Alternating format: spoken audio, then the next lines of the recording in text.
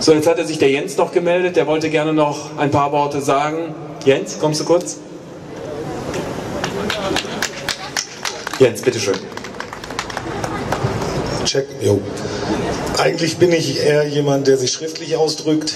Das heißt, ich betreibe eine Webseite, die relativ gut gelesen ist, IKEA News, vielleicht hat die schon mal einer von euch gelesen.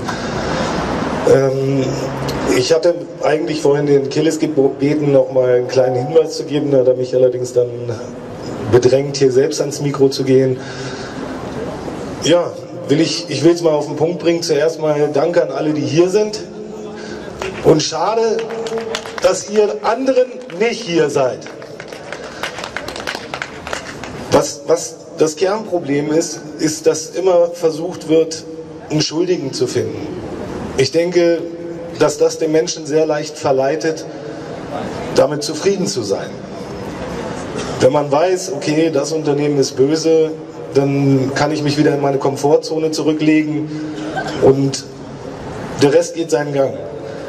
Viele Menschen, die verstehen, dass wir uns mittlerweile politisch weit außerhalb der Rechtsstaatlichkeit bewegen, überrennen ihre Freunde, Bekannten mit all den Informationen, die sie haben, zum Teil fundiert, zum Teil natürlich auch ein bisschen wackelig.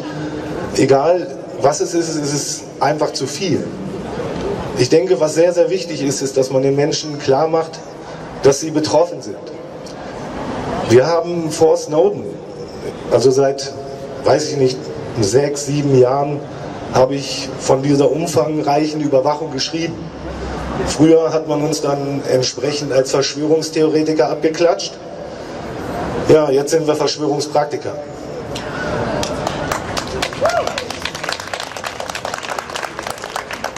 Was mich persönlich sehr überrascht hat, es hat keine Änderung herbeigeführt.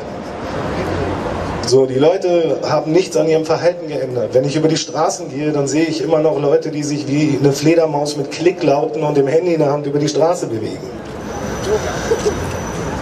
Die Leute verstehen, sie denken, sie gehen in einem unendlichen Datenstrom unter. Die Daten könnten nicht gespeichert werden. Das ist Mumpitz. Die meisten Leute, die hier sind, werden das wahrscheinlich wissen. Und ich möchte daran erinnern, dass es irgendwann in den 30er Jahren schon mal was ähnliches gab. Da war es IBM. Und man muss den Leuten klar machen, ihr seid betroffen. Jeder von euch ist betroffen. Es ist nämlich nur ein Parameter. Mal waren es die Juden, dann waren es die Schwulen, irgendwo in einem anderen Land sind es vielleicht die Hindus oder weiß der Geier was. Noch meinen die Leute, es kann sie alles nicht treffen. Und ich denke, das ist sehr, sehr wichtig, dass man versucht, einfach die Menschen an den Punkten abzuholen, wo sie mittlerweile nachvollziehen können, was sich hier abspielt in diesem Land. Also nicht nur in diesem Land, auf dieser Welt. Das ist in Amerika, es ist in Russland, es ist in China, es ist ja nirgends besser.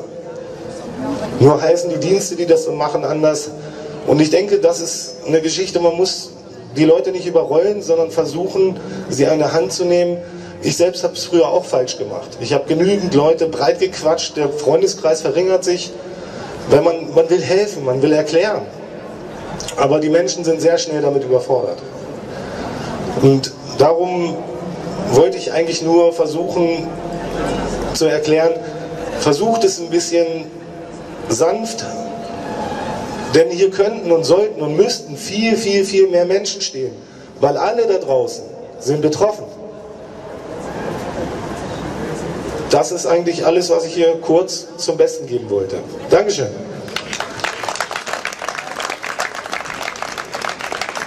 Danke, Jens.